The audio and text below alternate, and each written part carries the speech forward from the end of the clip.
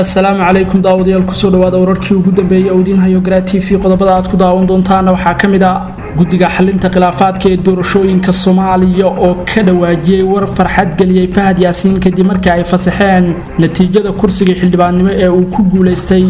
xogaga ahlu sunno ee saldhigoodu yahay deegaanka bohol ee duleedka dhuusamareeb oo go'aan ku gaaray in ay duulaan ku qaadaan magaalooyinka gurceel iyo dhuusamareeb iyo hogaamiyaha galmudug axmed cabdi kaariye qoorqoor oo heegan geliyey ciidanka galmudug si ay uga hortagaan damaca ahlu sunno ee cusub ra'iisul wasaaraha soomaaliya maxamed xuseen rooble oo kulan degdega la qaatay hay'adaha amniga iyo taliska amisom xilli uu faraha ka sii baxayo amniga dalka. Mas'uuliyiinta ugu sarreysa maamulka jubbaland oo isku khilaafay in awood lagu qabsado degmada garbahaaray ee xarunta gobolka gado iyo ra'iisul wasaarihii hore ee soomaaliya xasan cali khayre oo dowladda kenya ka dalbaday in ay u soo celiso lacag ay ka dhaceen rag ganacsato ah oo ku sugan magaalada nairobi ee caasimadda waddanka kenya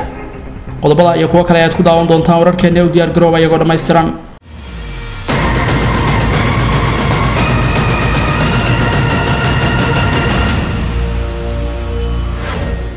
Isu soo noqod haboon daawadayaal mar kale waxaad ku soo dhawaataan wararka garaa t v oo dhammaystiran fadlan daawada haddii ay ku tahay xilliga salaada iska jooji daawashada warkan dibna u bilow salaada kadib daawashada warka waan ku bilaaba sida hordhaca warkeena idinkugu sheegayba guddiga xalinta khilaafaadka ee doorashooyinka soomaaliya ayaa ka dhawaajiyey war farxad geliyey la taliyaha dhinaca amniga qaranka ee farmaajo fahad yaasiin xaaji daahir oo maalmahan la kulmayey kacdoon iyo loolan culus oo kaga imaanayay dhinaca guddiga doorashooyinka ee heer federaal oo diiday natiijada kursigii uu fahad yaasiin ku soo baxay ee doorashadiisu ay ka dhacday magaalada beledweyne ee xarunta gobolka hiiraan. Guddiga xalinta khilaafaadka ee doorashooyinka soomaaliya ayaa fasaxay shan kursi oo uu ka mid yahay kursiga hob siddeetan iyo lix kaasi oo uu ku guulaystay fahad yaasiin xaaji daahir doorashadiisana lagu qabtay magaalada xarunta u ah gobolka hiiraan ee beledweyne. Kuraastan shanta ah iyo koob iyo labaatankii bishan doorashadooda lagu qabtay magaalada beledweyne ee xarunta gobolka hiiraan balse kursiga hob siddeetan iyo lix ayaa gudoomiyaha guddiga doorashooyinka heer federaal muuse geelle yuusuf wuxuu sheegay in la hakiyey ku dhawaaqista natiijada kursigaasi kadib markii ay dood culusi ka dhalatay inuu fahad yaasiin kursigaasi awood ku qaatay iyada oo loo diiday inuu tartanka ka qayb galo ninkii horey kursigaasi ugu fadhiyey ee faarax sheekh cabdulqaadir waxaa sidoo kale tartanka loo diiday musharaxiin kale oo doonaya inay tagaan beledweyne si ay ula loolamaan fahad yaasiin balse la taliyaha dhinaca amniga qaranka ee farmaajo fahad yaasiin xaaji daahir oo ahayd maskaxdii ka dambeysay in ciidanka dowladdu ay tagaan beledweyne cali guudlaawana halkaasi awood lagu geeyo ayaa ugu dambeyn kursigiisa si awooda kaga soo qaatay. Magaalada xarunta u ah gobolka hiiraan ee beledweyne guddiga doorashooyinka ee heer federaal ayaa go'aan ku gaaray inaan fahad yaasiin la siin shahaadada xildhibaannimo ee uu kaga mid noqonayo golaha shacabka ee baarlamaanka soomaaliya balse wuxuu qaaday tallaabooyin culus oo lagu dhabarjebinayo go'aanka uu qaatay gudoomiyaha guddiga doorashooyinka heer federaal muuse geelle yuusuf oo ka agdhow ra'iisul wasaare rooble fahad wuxuu dhaqaale xaddhaafa ku bixiyey sida aynu helnay in ay guddiga xalinta khilaafaadku fasaxaan natiijada kursigii uu ku soo baxay iyaga oo raaciyey afar kursi oo kale oo lagu doortay magaalada beledweyne waxaana si natiijadu ay u noqoto mid guud la isku dhex daray dhammaan kuraasta beledweyne ka soo baxay si loo xalaaleeyo xildhibaannimada fahad yaasiin ninka ku magacaaban gudoomiyaha guddiga xalinta khilaafaadka ee doorashooyinka soomaaliya ayaa sheegay in la fasaxay kuraasta ay ku soo baxeen. Xubno uu ka mid yahay fahad yaasiin kuraasta la fasaxay waxaa ka mid a hob siddeetan iyo lix oo uu ku guulaystay fahad yaasiin xaaji daahir hob toban iyo shan oo ay ku guulaysatay xiis xasan aadan hob sideed oo uu ku guulaystay maxamed deeq barre cumar hob laba boqol toddobaatan iyo afar oo uu ku guulaystay maxamed cabdulaahi xuseen nuux hob toddobaatan iyo afar oo uu ku guulaystay cabdikariim cumar xuseen iyo hob boqol iyo sagaal oo uu ku guulaystay cabdifataax qaasi maxamuud. Kuraastaasi ayuu dhammaantood sheegay guddiga xalinta khilaafaadka ee doorashooyinka soomaaliya inaan wax murana ka taagnayn oo ay gudbeen lana ansixiyey natiijadooda waxaana ay tani u quus goynaysaa dadaaladii saacadihii la soo dhaafay sida isdabajooga ah kaga socday xafiisyada rooble iyo kan gudoomiyaha guddiga doorashooyinka ee heer federaal muuse geelle oo lagu doonayay in fahad yaasiin aanu fadhiisan baarlamaanka cusub ee soomaaliya. Ugu yaraan rooble iyo gudoomiyaha guddiga doorashooyinka ee heer federaal ayaa doonayay inay fahad yaasiin natiijada kursiga uu ku soo baxay ay kor u hayaan tan iyo inta laga dooranayo guddoonka baarlamaanka iyo madaxweynaha soo socda ee soomaaliya. Balse inta aanay arrimahaasi oo dhani dhicin ayay guddiga xalinta khilaafaadku fasaxeen natiijada kursiga uu fahad ku soo baxay. Wuxuu sheegay gudoomiyaha guddiga xalinta khilaafaadka ee doorashooyinka soomaaliya inaanay jirin wax dacwada oo soo gaartay guddiga oo la xiriirta kuraasta shanta ah ee doorashadoodu ay ka dhacday magaalada beledweyne ee xarunta gobolka hiiraan fahad yaasiin xaaji daahir ayaa saacadihii la soo dhaafay waxa uu caqabad xoogan kala kulmayay ra'iisul wasaaraha soomaaliya maxamed xuseen rooble iyo guddiga doorashooyinka ee heer federaal balse dadaal badan dhaqaalo iyo juhdi ayuu ku bixiyey in guddiga xalinta khilaafaadku ay ansixiyaan natiijada kursiga uu ku soo baxay oo ugu dambeyntii uu ku dhawaaqay in la fasaxay gudoomiyaha guddiga xalinta khilaafaadka ee doorashooyinka soomaaliya ninka lagu magacaabo maxamed cawil warsame oo soo saaray war-saxaafadeed rasmi ah oo uu ku fasaxay natiijada shan kursi oo doorashadoodu ay ka dhacday magaalada xarunta u ah gobolka hiiraan ee beledweyne. Dhinaca kale iyada oo la soo gudbiyey ergada dooranaysa saddex kursi oo doorashadooda ay ka dhacayso magaalada dhuusamareeb ee caasimada galmudug ayaa la sheegay in fahad yaasiin uu rajabeel ku riday xasan sheekh maxamuud madaxweynihii hore ee soomaaliya guddiga hirgelinta doorashooyinka ee galmudug ayaa shaaciyey habraaca saddex kursi oo doorashadooda lagu qabanayo dhuusamareeb shan iyo labaatanka bishan februaayo oo ku beegan maalinka jimcaha ee fooda nagu soo haya. Mid ka mid a kuraasta la soo dhejiyey ayaa ah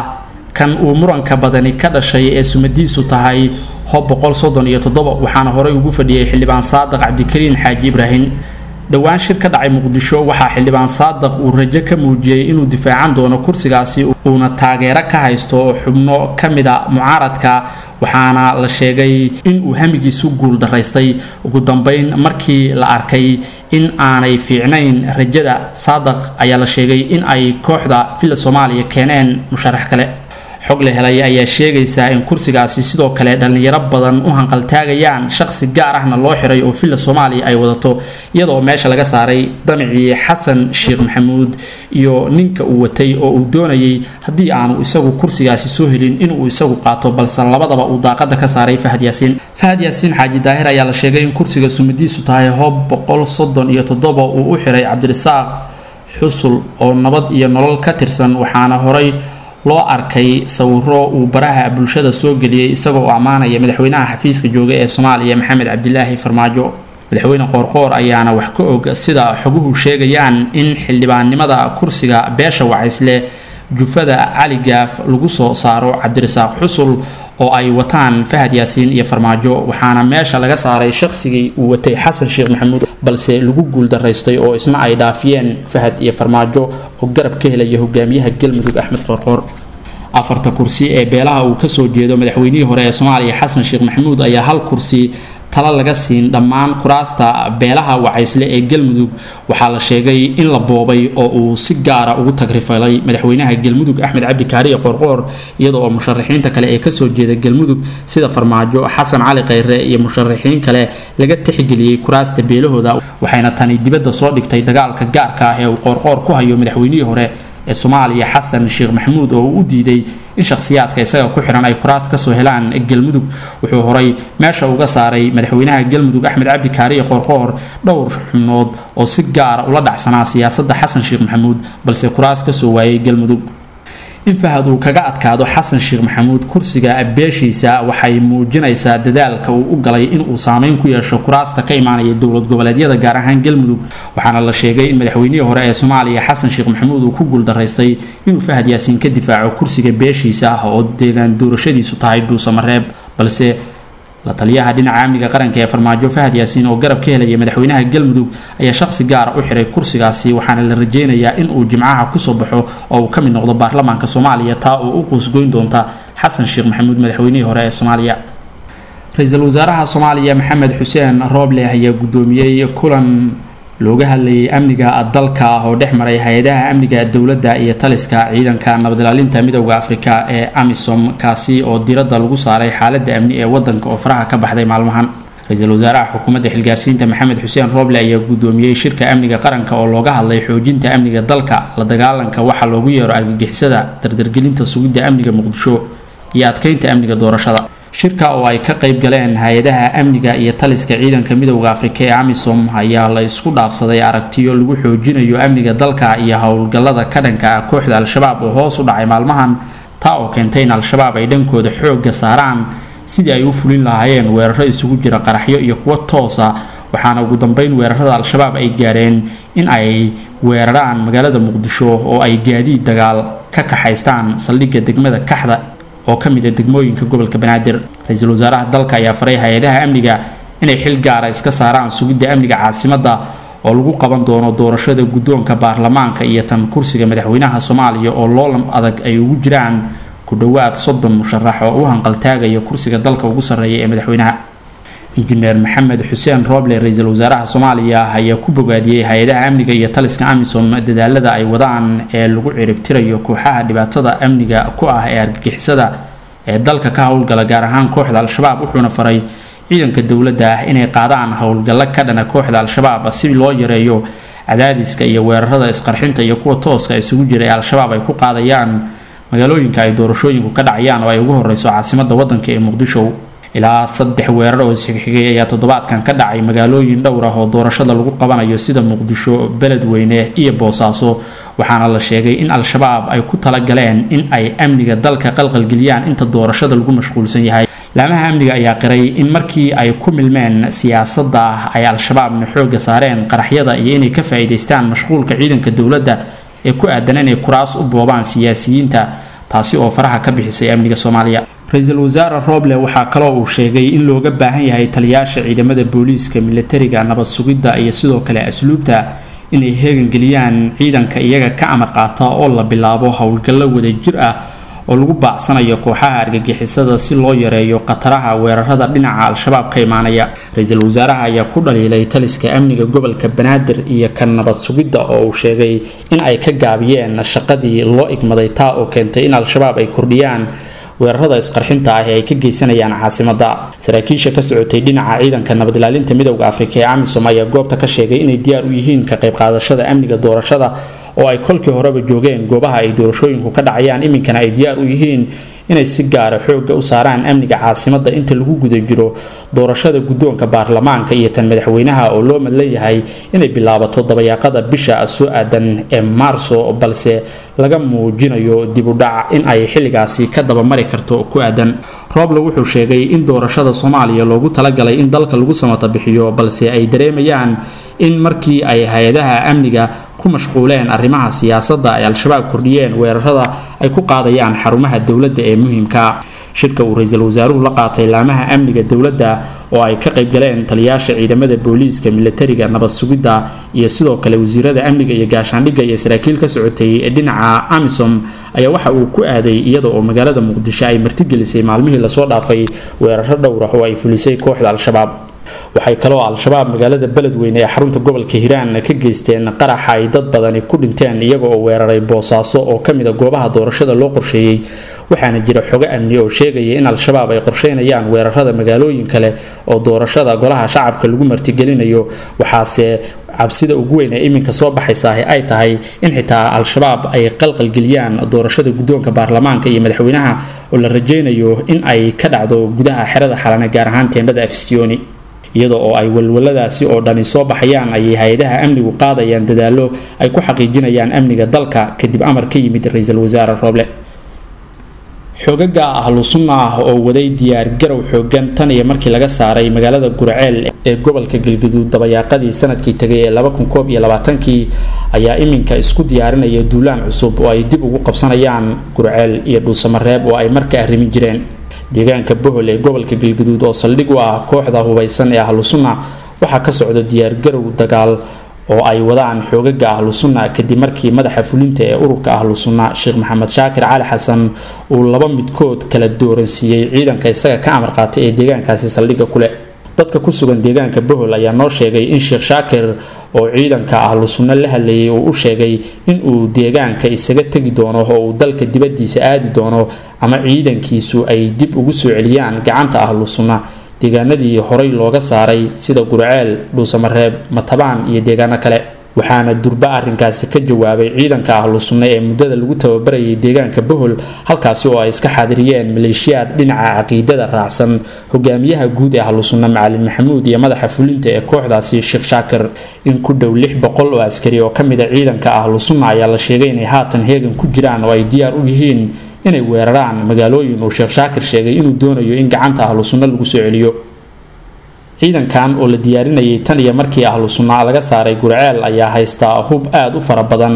waxayna doonayaan in ay bartilmaameedsadaan deegaanadii ahlu sunna ay markaa arrimin jirtay sida gurceel dhuusamareeb matabaan iyo ceeldheere. Balse waxaa arrinkaasi ka warhelay madaxda maamulka galmudug oo ugu horeeyo hogaamiyaha maamulkaasi axmed cabdi kaariye qoorqoor iyo saraakiisha ciidanka dowladda ee ku sugan galmudug oo sheegay inay ka hortegi doonaan duulaanka uu sheekh shaakir maleegayo ee lagu qaadayo magaalooyinka muhimka ee ay ku jiraan dhuusamareeb iyo gurceel. Saraakiisha taliska qaybta koob iyo labaatanaad ee ciidanka xoogga dalka ayaa lagu wargeliyey inay diyaargaroobaan oo ay heegan galaan. Waxaa sidoo kale la diyaariyey ciidamada sida gaarka u tababaran ee maamulka galmudug iyo xitaa ciidanka ay dowladdu geysay deegaanada galmudug markii uu socday dagaalkii gurceel ee gorgor iyo haramcad dhammaan ciidamadaasi oo tir ahaan ka badan kun askari ayaa la sheegay inay haatan u diyaarsan yihiin ka hortaga weerar kasta oo ka yimaada dhinaca xoogaga ahlu sunna ee ku sugan deegaanka bohol. Sheekh maxamed shaakir ayaa la sheegay inuu si gaara kaga carooday in kooxda ahlu sunna ay marti ka ahaato deegaanadii ay al-shabaab ka xoreysay kol hore islamarkaasina aanay siyaasada galmudug saameyn ku lahayn. Walow la sheegay in duulaanka sheekh shaakir uu iminka ku dhawaaqay aanu la qabin hogaamiyaha guud ee kooxda ahlu sunna macalin maxamuud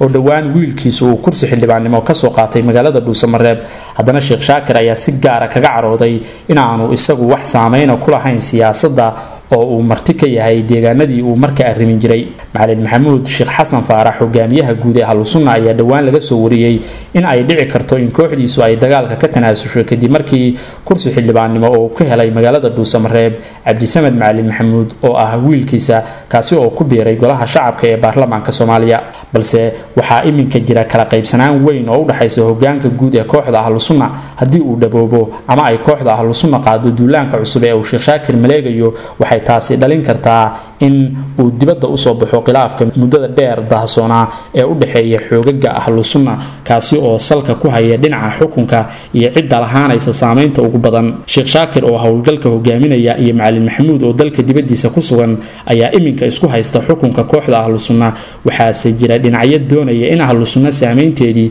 dib loo soo celiyo oo ay ka arrimiyaan lana wareegaan talada magaalooyinka ugu waaweyn gobolka galgaduud gaar ahaan dhuusamareeb iyo gurceel oo iminka maamulka galmudug uu gacanta ku hayo.